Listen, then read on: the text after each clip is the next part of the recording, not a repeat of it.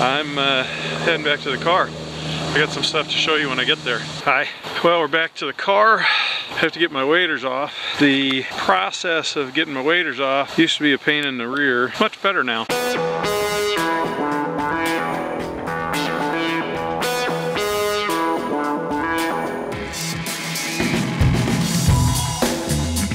What we're trying to do here is give you tips to make you dangerous.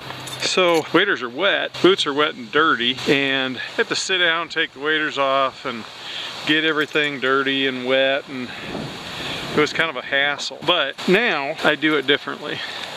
I have this tool here. That is a Simms wader bag. It's called a taco bag because it looks like a taco.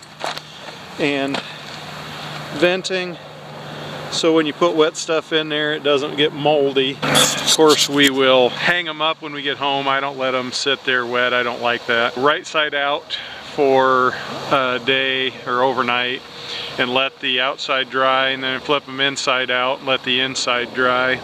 If I'm wading, if I'm on a trip or something and I'm going to be wading several days in a row, I'll turn them inside out and let the inside dry, make sure that the side that's against me is dry. The outside's gonna get wet again the next day anyway, so I don't so much worry about that. But when I get home today, I'm not gonna wade right away again tomorrow, so I'll hang them right side out, get the wet part dry, and then flip them out and let them let the inside dry. They are breathable. They will dry inside, but much quicker if I hang them up and, and flip them inside out.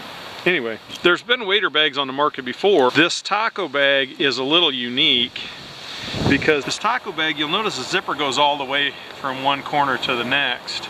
And what that permits me to do is open that up into a big circle you can see the inside of that's kind of dirty. Well, the inside of my car would be pretty dirty if I didn't have that. Anyway, you can see that opens into a circle. I've got a pair of slip-on shoes there. When I go out in my waders, I always bring a pair of slip-on shoes because I don't want to have to deal with tying, untying shoes when I'm slipping in and out of my waders, especially if we're moving spots a lot. My feet are dirty. I'm standing on the ground. A lot of times it's gravel in a parking lot, you know, in Arkansas or Wisconsin or Wyoming. And I don't want to stand with my stocking foot waders in a bunch of garbage. So the boots are dirty. I don't want to put them in my car. Waders are wet, I don't want to sit on my seat. You'll notice I'm gonna unclip that, roll that up. That's a gaiter. The concept behind that is it keeps stuff from going inside my boot. Undo both of those.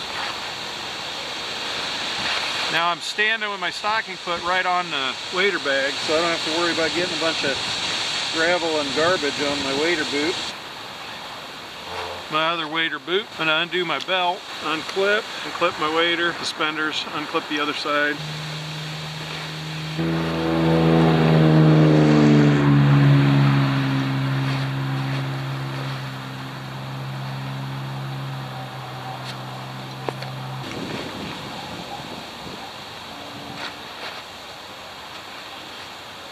Never put my socks down on the dirt. I never put my wet waders down on the dirt. I never put anything wet inside my shoe. My boots and my waders are in the wader bag.